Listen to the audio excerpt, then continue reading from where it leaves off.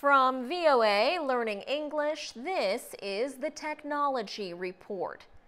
The Internet is one of the most popular forms of technology. But can using the Internet have the same effect as taking a drug? The answer seems to be yes in at least one country. China says many teenagers have grown dependent on the internet. China calls them internet addicts. In fact, China says that internet addiction is the biggest threat to its teenagers. Some critics even call the internet electronic heroin. In 2008, China became one of the first countries to declare internet addiction an official medical condition.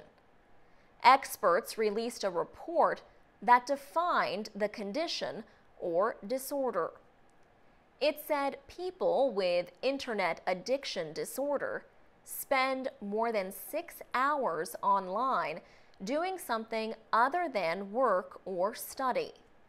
Based on the definition, China has over 20 million internet addicts.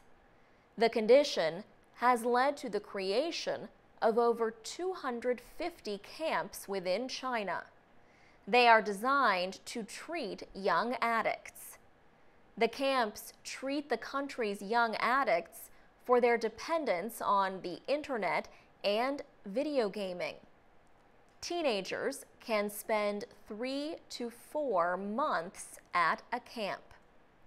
Once there, the patients are required to do demanding physical exercises and take medication. Some patients reportedly are placed in rooms by themselves for up to 10 days. Shosh Shlam and Hilla Medalia are filmmakers from Israel. They released a documentary called Web Junkie. It tells about the internet addiction camps. Their film was produced at the Daxing Treatment Center in Beijing. China is not the only country dealing with internet addiction. South Korea has opened over 100 treatment centers for teenagers. For VOA Learning English, I'm Alex Villarreal.